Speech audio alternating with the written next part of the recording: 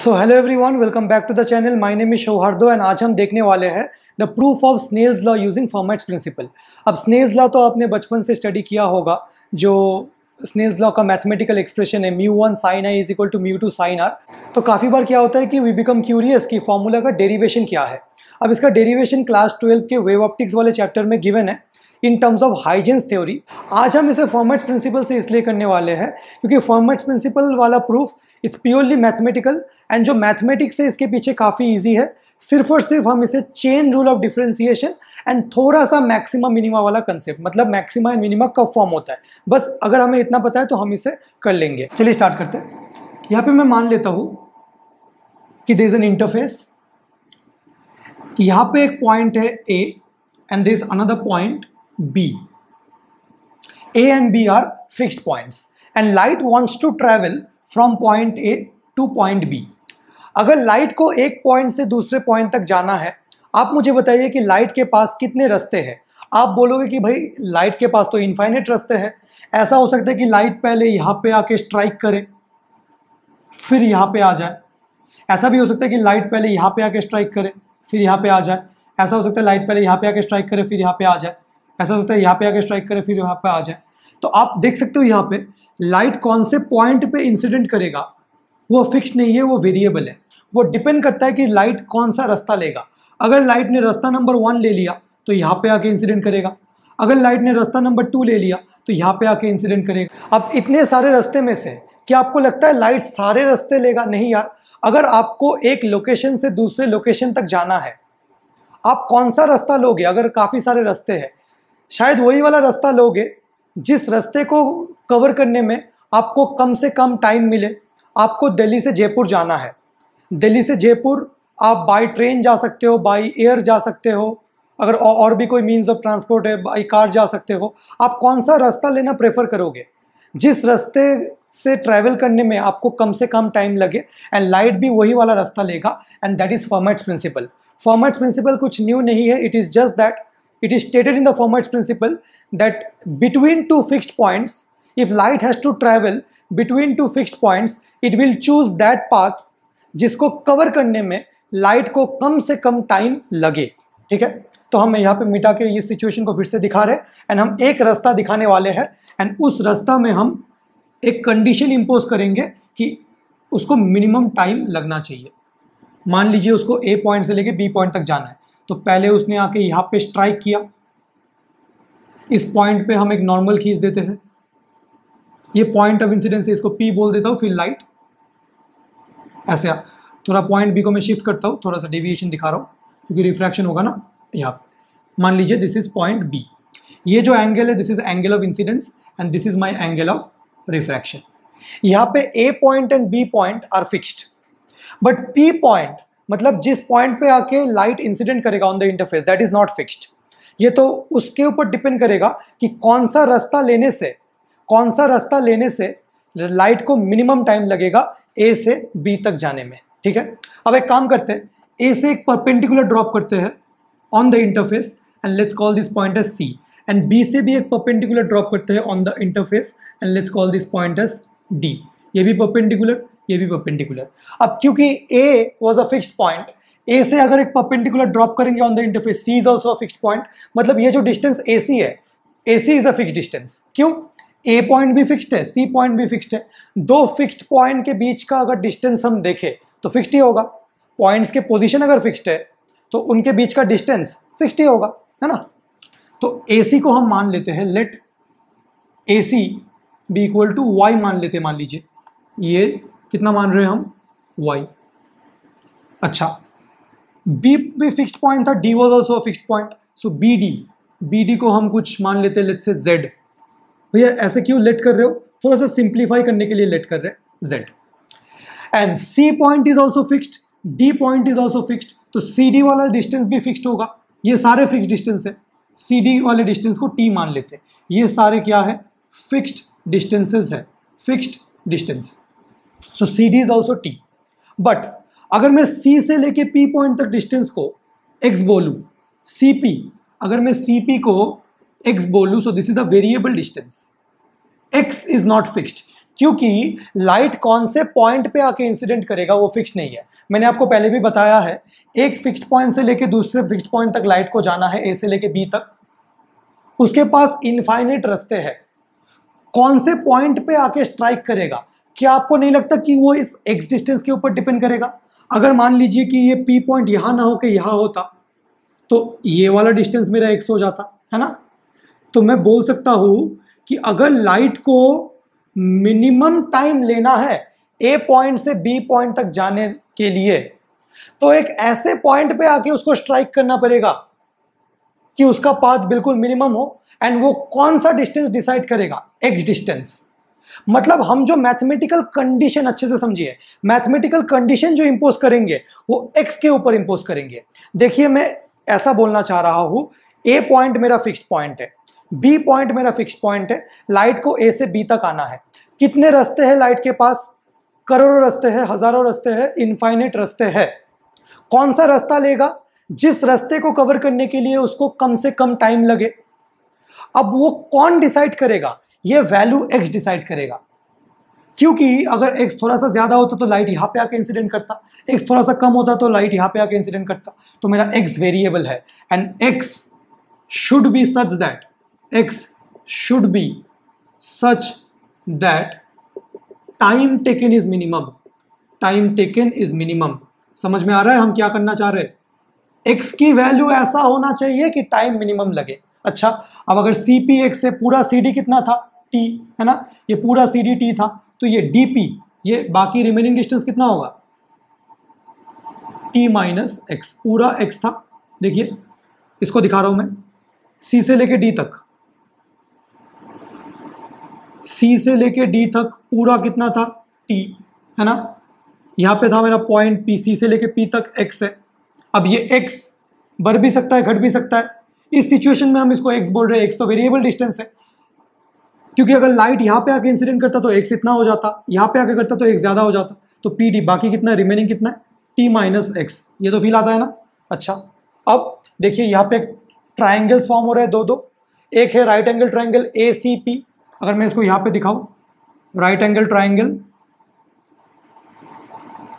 A C P A C distance fix था and कितना था? Y A C P C P distance fix था कितना था? X so according to Pythagoras theorem A P कितना आ जाएगा? Root over x square plus y square ये वाले ट्राइंगल को हमने देखा। अब यहाँ पे और एक राइट एंगल ट्राइंगल है।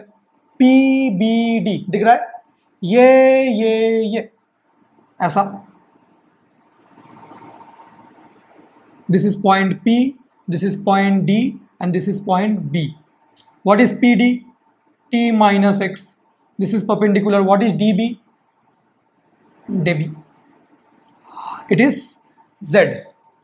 And what is BP? BP is root over T minus x का whole square plus z square सिर्फ़ और सिर्फ़ हमने पाइथागोरस थ्योरम लगाया है आप पहले देखिए, आपको इतना समझ में आता है कि नहीं है अब हम क्या बोलने वाले हैं मान लीजिए लाइट को एपी डिस्टेंस कवर करने में लाइट ने टोटल डिस्टेंस कितना कवर किया A P plus B P light ने टोटल डिस्टेंस कितना कवर किया? A P plus B P मान लीजिए लाइट को ए पी डिस्टेंस कवर करने में टाइम लगा t one and B P distance cover करने में टाइम लगा t two and total time मान लीजिए लाइट को लगा टी सो ये टोटल टाइम टी कितना आ जाएगा?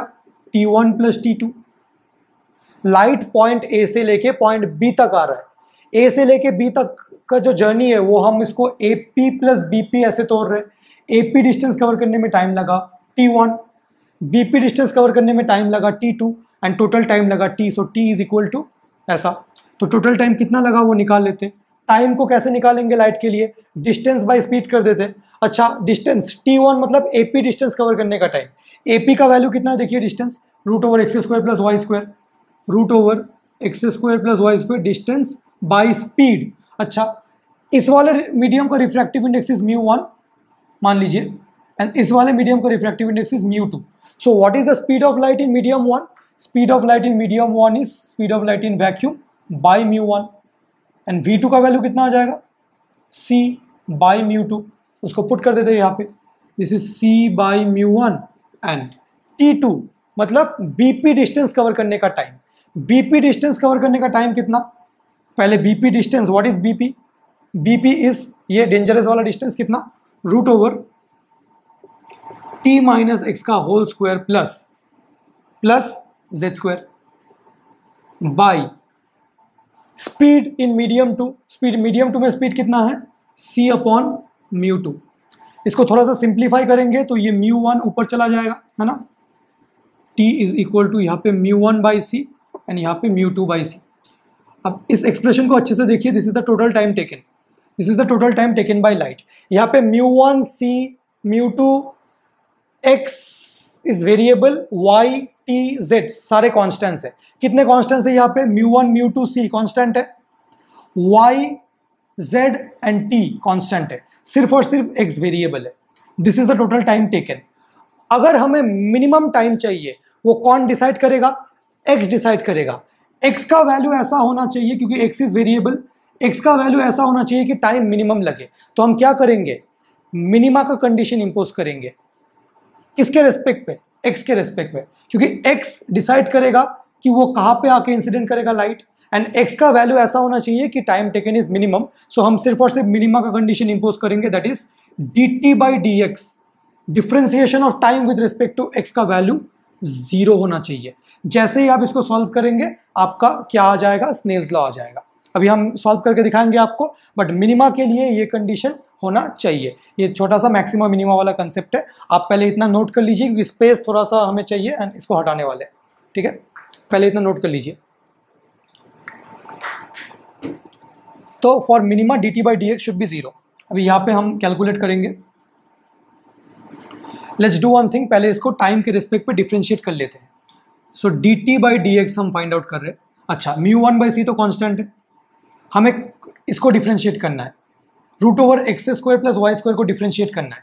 अगर हम d by d x of root over x square plus y square को करें यूजिंग चेन रूल तो पहले तो रूट ओवर एक्स का कितना होता है? One by two root x but था तो x square plus y square अब x square plus y square का अलग से करेंगे। एक्स स्क्वायर का कितना आएगा? टू एक्स वाई स्क्वायर का कितना आएगा? ज़ीरो बिकॉज़ वाई कॉन्स्टेंट है। तो ये कट पिट के कितना आएगा? X upon root over x square plus y square. तो देखिए, इतना अगर डिफ्रेंशिएट करें तो कितना आ रहा है? एक्स बाई रूट ओवर यहाँ पे लिख रहा हूँ x by root over x square plus y square differentiate करके एकदम हमने लिख दिया। एंड यहाँ पे म्यू टू बाई सी तो एज इट इज़ रह जाएगा। सिर्फ़ इतना डिफ्रेंशिएट करना है। उसको भी यहाँ पे साइड में डिफ्रेंशिएट कर लेते हैं। हमें क्या फाइंड आउट करना है? D by d x of root over t minus x का whole square plus z square अच्छा। पहले रूट का करते, कितना आ रहा है? मैं मान के चल रहा हूँ कि आपको चेन रूल बहुत ही अच्छे से आता है one by two root x मतलब टी माइनस एक्स का whole square plus date square अब अलग से सिर्फ़ अंदर वाले पार्ट का, अंदर वाले पार्ट का अलग से करेंगे तो पहले टी माइनस एक्स का करते हैं तो ये आएगा two into t minus x अब टी माइनस एक्स का करेंगे तो आएगा टी के लिए ज़ीरो एंड उसके लिए minus one plus z square का करेंगे तो ज़ीरो मैं डिफ्रेंसिएशन कैसे कर रहा हूँ वो नहीं दिखा रहा हूँ। मैं मान के चलो कि डिफ्रेंसिएशन अच्छे से आता है। ईस टू ने ईस टू को मार दिया। एंड यहाँ पे कितना आ रहा है? Minus of t minus x upon root over ये डेंजरस वाला टर्म सो so, यहाँ पे एक माइनस साइन आ रहा है तो इसको ही हम माइनस कर देते यहाँ पे माइनस साइन लिख दिया। एंड क्या आ रहा है ऊपर? T minus x upon root over t minus x का whole square plus z square पहले आप देखिए इतना आ रहा है कि नहीं आ रहा है। Root over x square plus y square को डिफ्रेंशिएट करने में x by root over x square plus y square आ रहा है। एंड सिर्फ़ इतना, ये रूट वाले root under root of t minus x का whole square plus z square को डिफ्रेंशिएट करने में ये आ रहा है। ये आपका आ जाना चाहिए। अच्छे से चेन रूल से डिफ्रेंशिएट कीजिए, आ जाएगा। ठीक है? अब what is x by root over x square plus y square एक काम करो। दिस इज़ एंगल आई अगर ये एंगल आई है तो ये भी एंगल आई होगा ऑल्टरनेट एंगल्स अब इस ट्राइंगल में ट्राइंगल ए सी पी में साइन आई का वैल्यू निकालो। साइन आई कितना आएगा? परपेंडिकुलर बाई हाइपोटेनियस हाइपोटेनियस कितना है? AP AP is nothing but x square plus y square तो x by root over x square plus y square this is sine i and इस triangle में अगर ये एंगल आर है this is also angle r alternate angles वहाँ पे sign are का value अगर निकालोगे सो so ये आ जाएगा t minus x by root over t minus x का whole square plus z square बस मतलब this term is nothing but sine i and ये जो पूरा डेंजरस वाला टर्म है, ये पूरा कितना है? Sine r so d t by d x comes out to be mu 1 by c sin i minus mu 2 by c sin r. ठीक है? अब हम क्या बोलेंगे कि फॉर मैक्सिमा और मिनिमा फॉर मैक्सिमा और मिनिमा हम क्या बोलेंगे? D t by d x का जो वैल्यू है दैट शुड बी ज़ीरो अच्छा तो इसको ज़ीरो पुट कर देते ये क्या रहा है? Mu one by C sine I minus mu two by C sine R should be equal to zero अगर इसको उस साइड में ले जाए so this is mu one by C sine I mu two by C sine R C ने C को मार दिया। This comes out to be mu one sine I mu two sine R and this is nothing but Snell's law तो देखिए, कितना easy था Snell's law को Fermat principle से प्रूव करना। हमने कुछ नहीं किया। हमने बस इतना माना कि लाइट ए पॉइंट से लेके बी पॉइंट तक जा रहा है। ए फिक्स्ड पॉइंट है बी फिक्स्ड पॉइंट है। ए से लेके सी तक परपेंडिकुलर ड्रॉप किया। ए सी डिस्टेंस फिक्स हो गया, उसको वाई बोल दिया। बी से लेके डी तक परपेंडिकुलर ड्रॉप किया। एंड बी डी को हमने जेड बोल दिया। सी एंड डी भी फिक्स्ड है एंड इसको टी बोल दिया। फिर हमने डिस्टेंसेस लिया। दोनों राइट एंगल ट्राइंगल में हमने सिर्फ़ और सिर्फ़ पाइथागोरस थ्योरम लगा के सॉल्व किया। हमने बोला, अगर टोटल टाइम टी लग रहा है that is T one plus T two T one is the time to cover cover A P and T two is the time to cover the distance P B और B P and हमने सिर्फ़ time को distance by speed लिखा है। And अगर आपको minimum time find out करना है तो D T by D X should be zero minima का कंडीशन हमने उसके ऊपर इम्पोज किया है this comes out to be mu one sine है is equal to mu two sine है अब आप इसे वेरियस फॉर्म्स में लिख सकते हो, ठीक है? अब थोड़ा इसको मिटा रहा हूँ, अगर थोड़ा हमने प्रूव कर लिया। यहाँ पे आप वीडियो को छोड़ के जा सकते हो बट इसको अगर आपको सिर्फ़ ऐसे लिखना है sine i by sine r gives me mu two by mu one अगर म्यू टू को आप लिख सकते हो C by V two C by V one so solve करके आ जाएगा V one by V two अब वी वन को फिर लिख सकते हो F lambda one F lambda two तो सारे रिलेशन आ जाएँगे ऐसे। Sine i by sine r is mu two by mu one is V one by V two lambda one by lambda two Snell's law के जितने भी variation है in terms of speed reflective index and lambda ये सारे आप calculate करके बहुत ही easily निकाल सकते हो। हमने क्या यूज़ किया? Speed of light in any medium is c by mu एक ऐसा formula and v is equal to frequency into lambda ठीक है? वेव का speed is frequency into lambda तो आप इजीली फॉर्मेट प्रिंसिपल यूज़ करके स्नेल्स लॉ को derive कर सकते हो। आई होप आपको ये वीडियो पसंद आया होगा। एंड स्नेल्स लॉ का प्रूफ हम फॉर्मेट्स प्रिंसिपल से कैसे करते हैं, ये बिल्कुल समझ में आ गया होगा। आप अगर मुझे कमेंट सेक्शन में कुछ बताना चाहते हो तो बता सकते हो। And will see you again in the next video तब तक के लिए take care happy learning bye